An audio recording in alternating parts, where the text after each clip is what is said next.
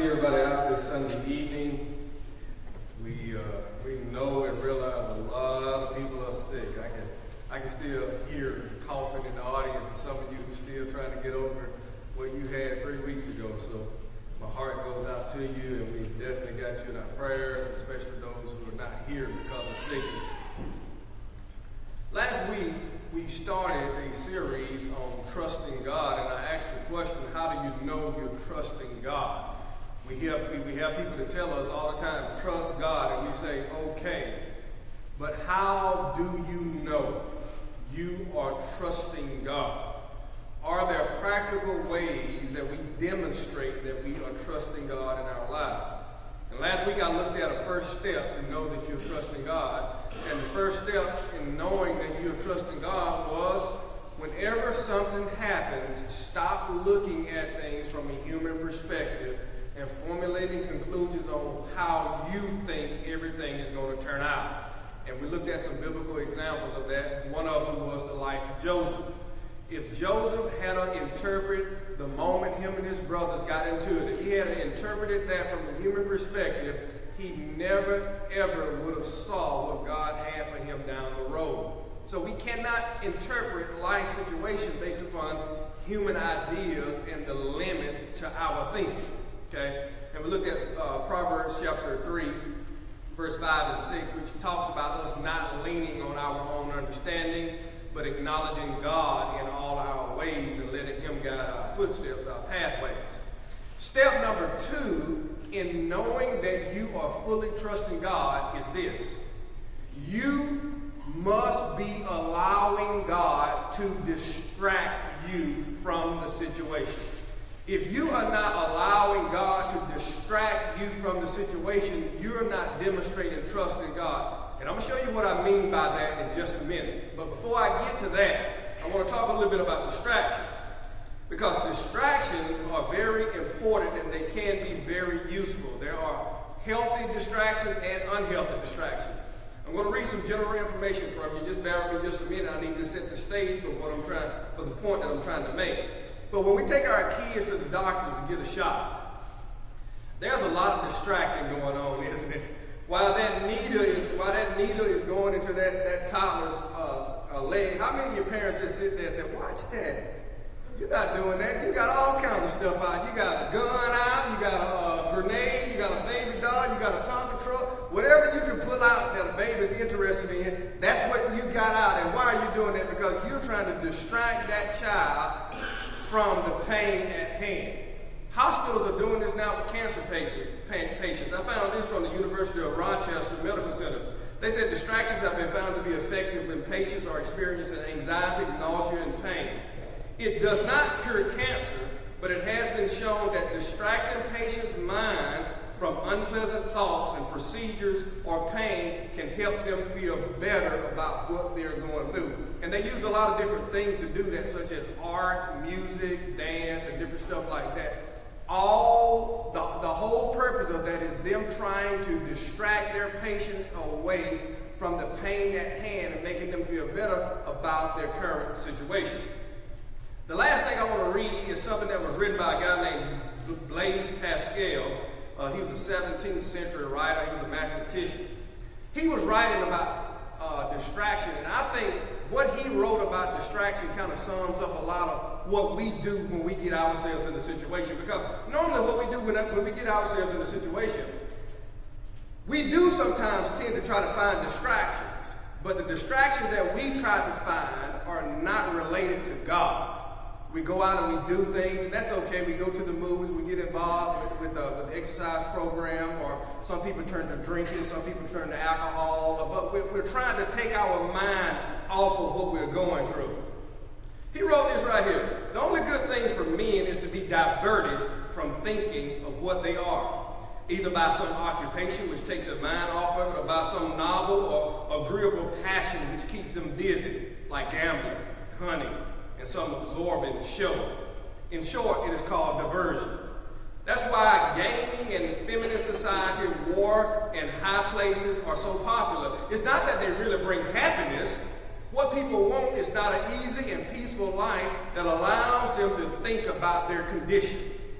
but the agitation that takes the mind off and diverts us.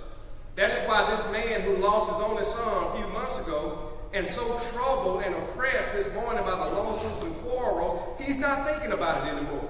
Why, he, why is he not thinking about it? Because at the moment he's congregating all his attention on where the wild boar is going and whether or not his dogs have located it, who have been pursuing it for the last six hours. That's all he needs. However sad a man may be, if he can if, if you can persuade him to take up some diversion, he will be happy while it lasts. Without diversion, there's no joy. Without diver- with diversion, there is no sadness. Now, I do think there is a bit of truth in that. And the truth in that is this right here. Diversion and distraction from what we are going through is beneficial to you. What I don't agree with is this right here that we should be solely distracted by the things of the world. That is the key. And so my heading is this right here. To demonstrate whether or not you are truly trusting God, you must show that you are allowing God to distract you and not the things of the world. Now, what are some ways that we allow God to distract us and demonstrate our trust in Him? Okay? Way number one is this right here. We pray. This, this here has become a cliche too. But I'm telling you, there is something about praying and the human psyche, how God has built us and designed us, that prayer takes our mind off of what we're going through, at least for a moment. It distracts us from the problem and it places our focus on the one who can help us with the problem, and that's God. You remember the story that Jesus told in Luke chapter 18 of this woman who was trying to get vengeance against her adversary, and she kept pursuing this judge and kept pursuing this judge. And Jesus used that story as an example of how our life in prayer should be persistent. He said, Don't ever stop praying. Don't ever lose heart. Keep praying. Luke 18, verse number 1. So Jesus understood that prayer is vital in life. What happened to him? in Luke chapter 22, when he felt stretched, when he felt anxiety, when he felt like he could not go any further, what did he do? He withdrew himself from his disciples and he went in the Garden of Gethsemane and he prayed and he prayed and he prayed and he prayed. The moment he was praying, the time that he was down on his knees talking to his heavenly Father, his mind was distracted away from the things of life and his attention was totally turned toward God. Prayer is important. Prayer is a healthy distraction when you're facing difficulties in life. And I'm not just talking about the prayer that's going down the road in your car. I'm not just talking about the prayer at the kitchen table to bless your food. I'm talking about you finding time to remove yourself away from everything and everybody. Go in a closet, go in a room, shut your door, and cut off the light, and put your head down and talk to your Father. Turn your Bibles over to 2 Samuel chapter 20, 2 Samuel chapter 22, and let's look at an example of what we mean by praying and allowing prayer to be a sign that we are truly trusting in God. 2 Samuel chapter 22, beginning with verse number 1. Then David spoke the words, uh, then David spoke to the Lord the words of this song. On the day when the Lord had delivered him from the hands of all his enemies and from the hand of Saul. And he said, the Lord is my rock and my fortress and my deliverer, the God of my strength, in whom I will trust.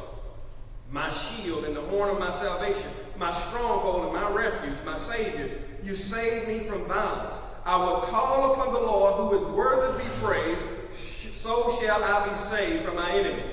When the waves of death surround me, the floods of ungodliness make me afraid, the sorrows of Sheol surrounded me, the snares of death confronted me, in my distress, I called upon the Lord and cried out to my God, and he heard my voice from his temple, and my cry entered his. David said the first thing he did in times of trouble was pray. Was pray. Because prayer is a healthy distraction from the things that you're going through, and it shows that you are demonstrating your trust in God by the simple fact that you are turning to Him to ask for help. And if you don't believe prayer is a place where you can go for help, in your spare time, read Hebrews chapter 4, verse number 15 and follow. Hebrews chapter 4 talks about Jesus and it talks about him asking us to come to the throne of grace for help in the time of need. Let me read it very quickly. You don't have to turn over there. But in Hebrews chapter 4, verse number 15, it says, We do not have a high priest who cannot sympathize with our weaknesses, but he was in all points tempted as we are yet without sin. Let us therefore come boldly to the throne of grace so that we may obtain mercy and find grace to help us in the time of need. Now, when you are faced with a tragedy in life, when you are faced with a difficult situation, how many of you stop what you're doing, fall down on your knees, and give time to God in prayer? I know what you're saying. You're saying it doesn't work. And you know why you're saying that? Because you hadn't seen any changes. You have not seen any changes, but there have been changes. You just missed them. And you know why you missed them? Because you have been looking for a certain type of change. You see, God has already been changing the situation to benefit you in the way that He knows is going to benefit you, but it's not being changed in the way that you want it. And because you cannot recognize the change, you have assumed God did not hear your prayer. You are wrong. You're wrong. God doesn't turn a deaf ear to his children. But God provides for his children what they need and not what they want. And that's the key. Sometimes God says yes, sometimes God says no, sometimes God says wait. And sometimes God says, I'm going to do it my way. Just sit back and be patient. Pray. Number two, another way to demonstrate that you are truly trusting in God is through meditation.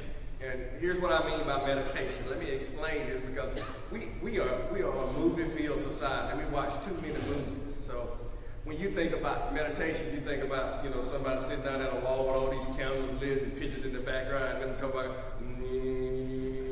that's not what I'm talking about when I'm talking about meditation. I'm talking about thinking on God, thinking on spiritual things all the time. That's what I'm talking about when I talk about meditation. I'm talking about when you're laying on your bed, instead of laying there thinking about how bad your situation is, lay there and think about how good God has been to you so far. When you're riding down the road and you're thinking about you're thinking about how bad and complicated your life is, look back and think about where you could have been. But by the grace and mercy of God, you're not there. You're in a different place to be thankful. That's what I'm talking about when I talk about meditation. I'm talking about thinking about the goodness of God and the works of God in your life and how he has shown himself in your life in more ways than one by the things that he has blessed you with. Turn your Bible to Psalms chapter 77. Psalm 77. Let's look at this verse here that talks about meditating on God. Psalm 77, verse 10 through 12. Notice what the psalmist said. And by the way, most of these psalms are the same. They're dealing with something about troubles of life. Look at verse number 2. Uh, let's look at verse 1 and 2 of Psalm 77. I cried out to God with my voice, to God with my voice, and he gave ear to me. Now look at verse 2. In the day of my what?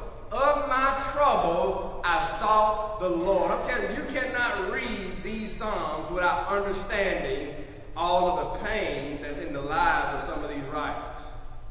And the psalmist says, In my trouble, I cried out to God. Notice verse 10 through 12. And I said, this is my anguish. This is my anguish. Notice that now. This is my infirmity. This is my pain.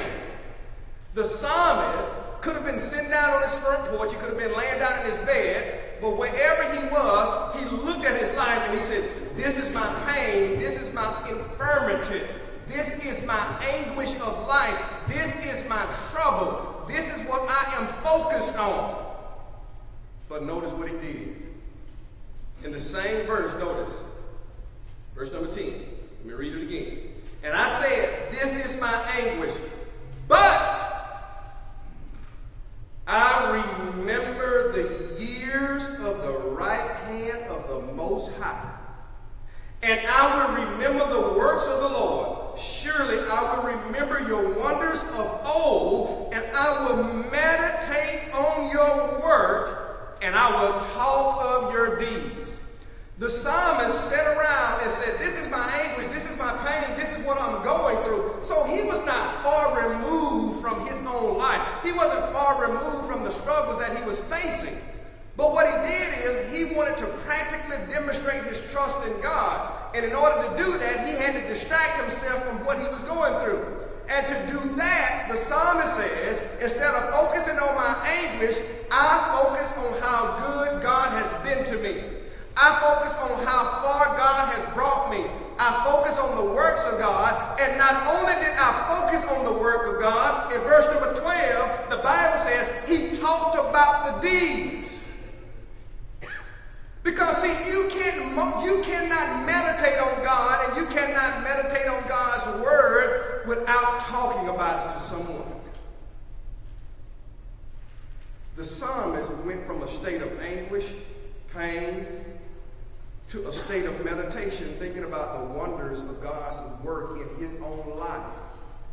And then being so excited about the wonders of God's work in his life to actually sharing that with somebody. And you know what? The whole time he was sharing God's wonder to some to some other person, that was the he, he was not thinking about his own problem. So we demonstrate our trust in God by meditating on God, meditating on God's word and what God has done in your life. Listen here. You may think you're going through something bad right now, but it, I guarantee you it can get worse. I, I guarantee you it can get worse. Your children may be in a tough situation right now, but it can get worse. Your relationships may be in a tough situation, but it can get a whole lot worse. Life can always get worse for the living, y'all. Always. And so we must meditate on the goodness of God. Do you know why? That's do you know, in my personal opinion, this is why I believe a lot of people mis, misinterpret Philippians chapter 4 and verse number 7. Let's turn over there and look at that verse. Philippians chapter 4 and verse number 7. And you all know the verse, but I want us to read it together in the context. And it's the verse that talks about the peace that passes all understanding. I used to read this verse over and over and over and over when I was going through something, and I never had the peace that it's talking about. I couldn't figure out why. Philippians 4, verse number 7 says, And the peace of God, which surpasses all understanding, will guard your hearts and your mind through Christ Jesus. Verse number 6 says, Be anxious for nothing, but in everything, by prayer and supplications with thanksgiving, let your requests be made known to God. And when you do that, supposedly, when you pray, supposedly, when you make supplications to God, this peace is supposed to just come into your heart and guard your heart from any unpeaceful thoughts. That's what I thought this was. Never worked for me. It never worked for me.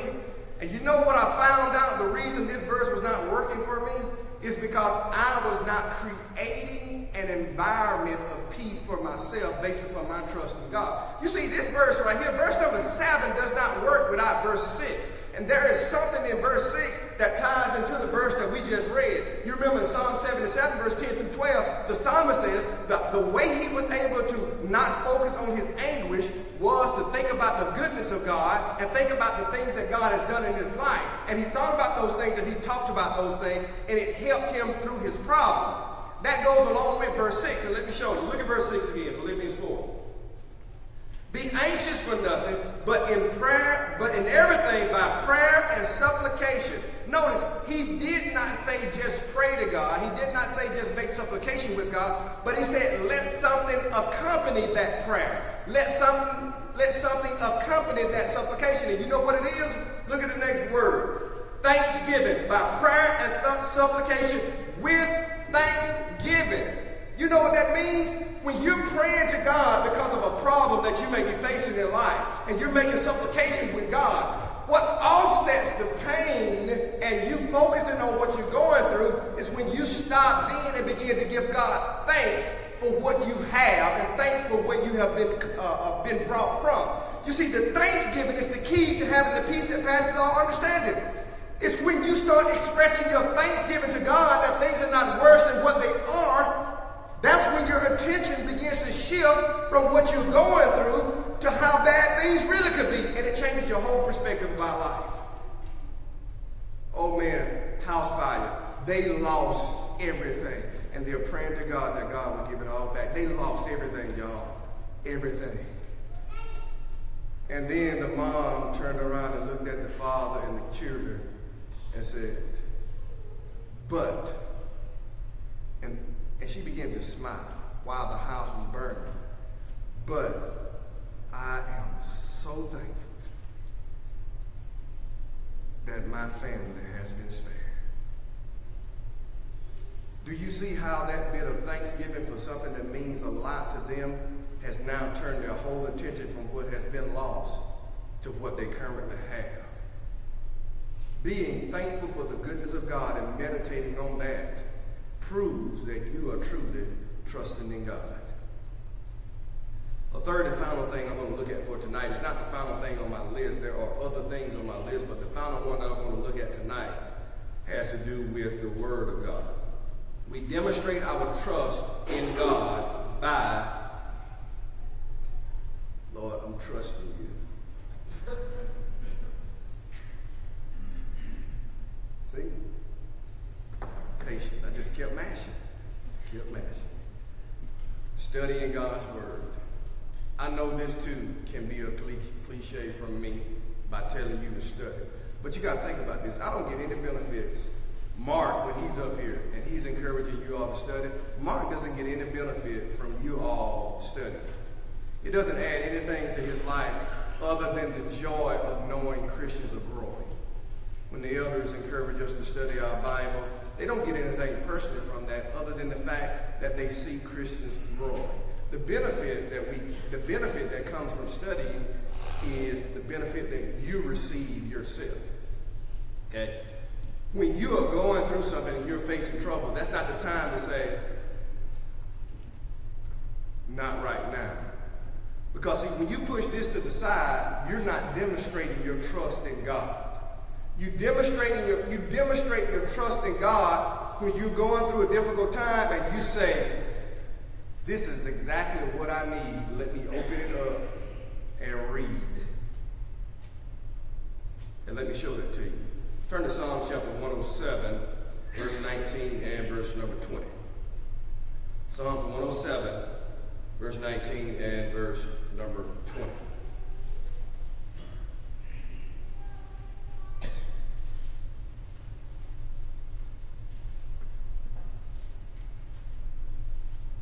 Let's start at verse 17. It says, Fools, because of their transgression and because of their iniquities, were afflicted. So they brought this on themselves. Verse 18, Their soul abhorred all manner of food, and they drew near to the gates of death. And then in verse 17, I mean verse 19, they cried out to the Lord in their trouble, and he saved them out of their distress. So let's stop for a minute. Here you have these individuals, these foolish individuals who made bad decisions in life. Whatever they were doing, they brought calamity upon themselves. They brought the, their own stresses in life, they brought it upon themselves. It's much like we do sometimes. In all of our good intentions, sometimes we still make bad decisions, and the bad decisions that we make it brings hardships for ourselves. We do it in our relationships. We do it in our decisions when it comes to our children, on our jobs. And it's just the fact that we make bad decisions, and bad decisions bring hardships in our lives. These people here were the same way. And the Bible says when they found themselves in anguish, they cried out to God in verse number 19, and He saved them. Now, how did He save them? Is the key. And I think we find that in the next verse. Look at verse 20. And He sent His what? Word and healed them. Listen to me very carefully. If you're sitting in the audience today and you as an individual need to be healed, you can find healing through God's Word. You don't need Benny Hinn and none of these fake healers to bring you healing. If you're sitting in the audience today and your relationship with other people is crumbling, you can find healing in God's Word. If your family is broken, you can find healing in God's Word. If the church is broken, we can find healing through God's Word. If our lives are broken, we can find healing. God says through the psalmist that he saved these people and sent his word and healed them. When you're going through tough times, you demonstrate your trust in God by not closing this and putting it on the shelf, but by picking this up, reading it, and trusting every word that God has to say. You got to believe it. I'm reminded when the Apostle Paul was getting ready to leave, he called the elders in Acts chapter 20, verse number 17, to the island of Miletus. And he told them some things that he wanted them to do and look out for after his departure. And Paul told them that he wanted to leave them with something that was going to benefit them. And we find that in Acts chapter 20. I think it's verse number 32. And here's what he said. Uh, Acts 20, verse 32. Okay. Uh, Yes, Acts 20, verse 32. Notice what Paul told these elders at the church at Ephesus. He says, Now, brethren, I commend you to God and to the word of his grace, which is able to build you up. You elders, I, I know times are going to be difficult for you after I'm gone. And I know that there are going to be a lot of there's going to be a lot of trouble within the body of Christ when I'm gone. You are going to need strength to endure. And I'm leaving something with you. I'm leaving the God of heaven with you, elders. But not, I'm not only leaving that, I'm leaving the word of his grace with you because it's the very word that you must cling to that's going to give you strength.